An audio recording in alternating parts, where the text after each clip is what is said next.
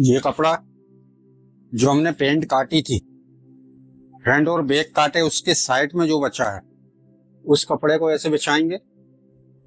पहले शर्ट का फ्रंट काटेंगे, यहाँ से।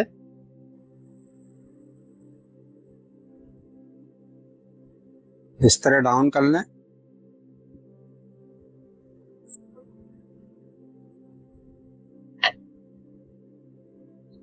शर्ट की लंबाई है।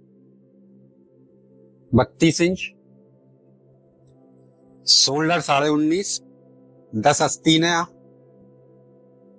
सत्रह अस्तीन की मोहरी है। अठारह गला है। पैतालीस सीना है। सैतालीस पेट है। बत्तीस लंबाई है। सवा इंच बढ़ाकर निशान लगा लेंगे। साढ़े तैतीस। दो इंच पर एक ये निशान लगाएँगे फ़ैशन का।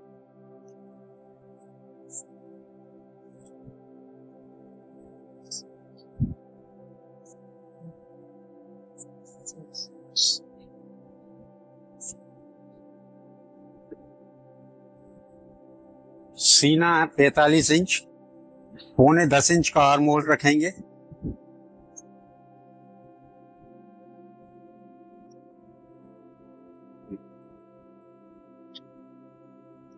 सवा दो इंच शोल्डर डाउन करेंगे।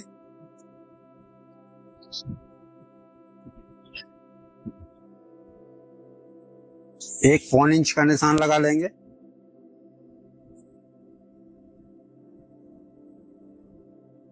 ये चढ़ाते हैं हमारी। बटन जब लगती है तो पौन इंच पल्ले ऊपर चढ़ते हैं। अब ये दो निशान लगे, इसके सेंटर में एक निशान लगाएँगे। वो गले का छठवा हिस्सा, गला 18 इंच है। ये जो सेंटर में निशान लगाया है इसका छठवा हिस्सा लगा लेंगे। शोल्डर है साढ़े उन्नीस इंच। पौने दस इंच। तो ये बाहर वाले निशान से ही लगाएँगे। पौने दस इंच। और तीन सूत, सिलाई का मार्जिन।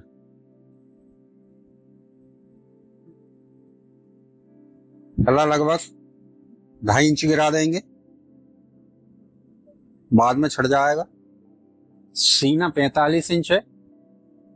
पैतालीस का चौथा सवा ग्यारह ये बाहर वाले निशान से ही लगाएँगे। ये कि ये गणित बिल्कुल सही है। सवा ग्यारह, यहाँ पर सिर्फ़ दो इंच बढ़ाएँगे। यहाँ से एक इंच कम करेंगे।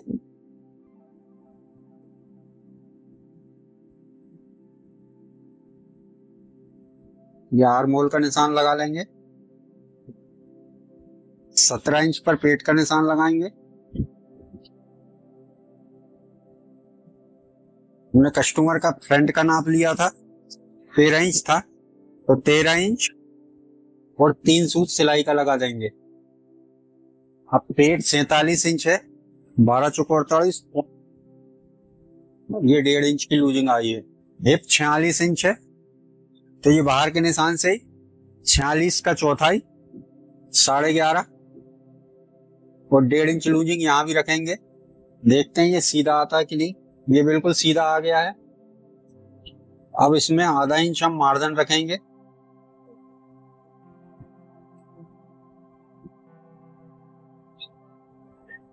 बाद में ग्राहकों को टाइट आइट होने लगती तो लूज करवा लेते हैं। इसलिए मार्जिन ज़रूर रखें। अब ये अंदर वाले निशान पे टेप को रखेंगे और इधर बाहर वाले पे इसका सेंटर लगा लेंगे। और हल्का ओपन कर देंगे। वर्दी में ज़्यादा ओपन की ज़रूरत नहीं है। ऊपर से पॉकेट का निशान लगाएँगे साढ़े आठ इंच पर। साढ़े आठ पर पॉकेट लगेगा और फ्लैप लगेंगे आठ पर। इधर से ढाई इंच पर लगाएँगे, साइज़ बड़ा है। इसमें पॉकेट लगेगा। ये वाला, सवा पाँच और पौने छह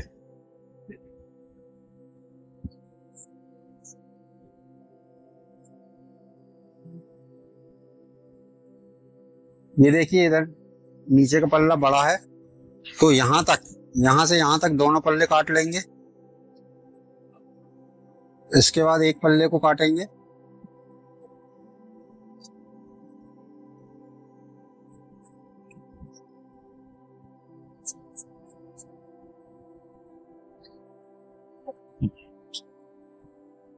यहाँ भी एक पल्ले को ही काटेंगे।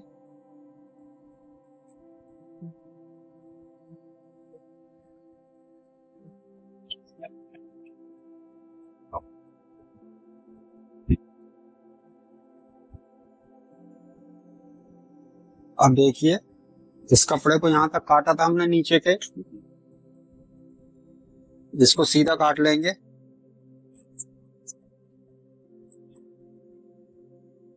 इसमें उल्टे का निशान लगा देंगे। इसमें पहले फ़ैशन पट्टी बनाएँगे, उसके बाद काटेंगे एक पल्ले को इसको साइड में रख देते हैं।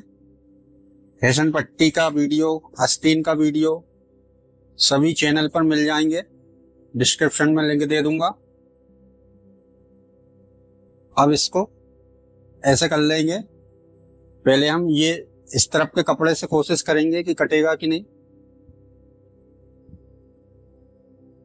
बैक बैक काट रहे हैं। बैक की लंबाई अगर यहाँ आती है तो यहाँ काटेंगे। नहीं तो उस तरफ़ से ही काटेंगे।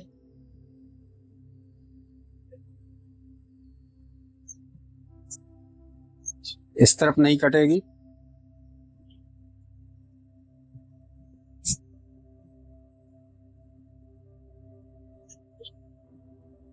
कितना कपड़ा चाहिए हमको, साढ़े तेरह इंच के करीब चाहिए, किनार छोड़कर तेरह इंच जाएगा।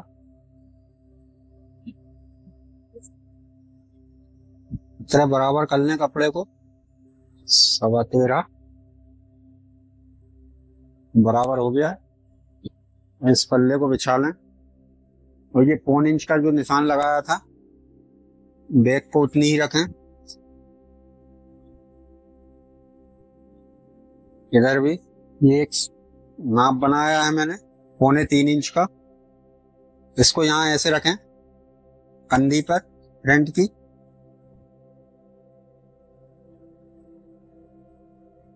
ये निशान लगा लें। ऐसे तिरछे में ये पौने तीन इंच ऊपर एक निशान लगा लिया और यहाँ से आधा इंच ऊपर एक निशान लगाएँगे। ये बैक का गला कटेगा यहाँ से। कुछ नहीं करना, सबसे पहले यहाँ से काट लेंगे इसको।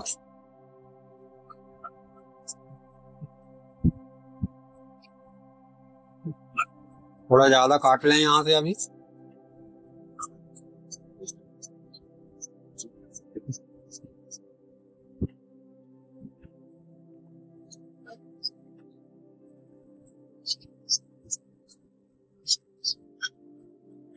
यहाँ से दो सूत कम कर दें बैग को। अब जो फ्रंट की कंधी है, दो सेंटीमीटर का। एक लाइन खींच लें, दो सेंटीमीटर नीचे।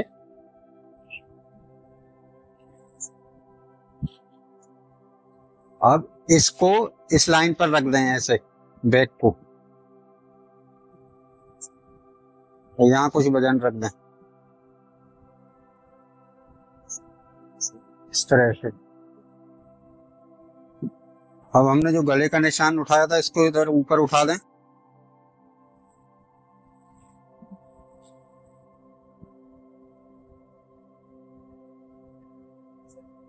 ऐसे ही ये आर्म होल वाला भी उठा दें।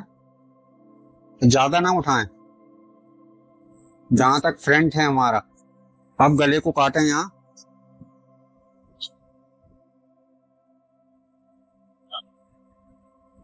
अब यहाँ गला काटते समय ध्यान रहे कि नीचे की बैक ना कटे। एक साथ इसको काट लें। ज़्यादा ना काटें। बस फ्रंट जितना है उतना तक काट लें। ये से ही इसको काट लें।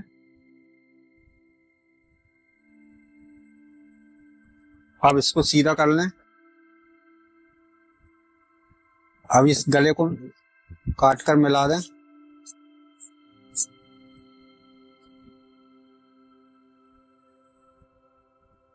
यहाँ देखिए, इस कर्व पट्टी को रख लें।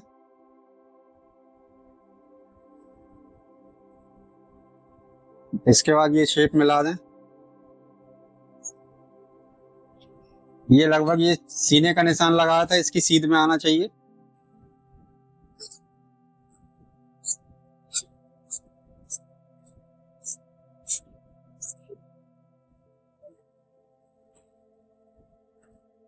अब ये शोल्डर डाउन किया था, उस निशान से आधा इंच आधा इंच नीचे एक निशान लगा लें। यहाँ कुटका लगा दें।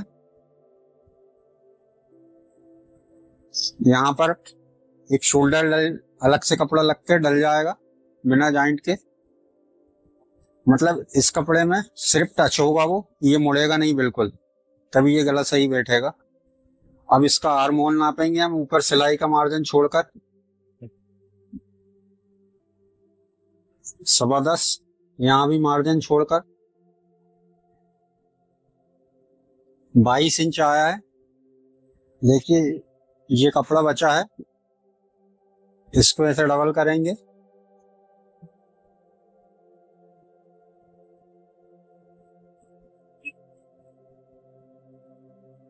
और ये किनार छोड़कर 22 इंच पर एक निशान लगा लेंगे। आर मोल जितना आया था, इससे भी लगभग एक इंच ज़्यादा काट लेंगे।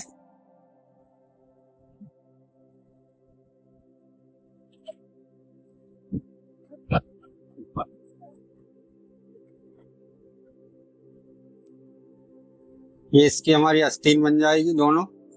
ये अस्तीन पहले बनती है, हाफ़ वाली फिर इसकी कटिंग करेंगे। तो इसका एक वीडियो आपने नहीं देखा तो एंड स्क्रीन में आपको मिल जाएगा। ये अस्तीन बनाना देख लें। ये सत्रह इंच है टोटल कपड़ा लंबाई। हमको दस इंच चाहिए, आराम से बनेगी इसमें अस्तीन।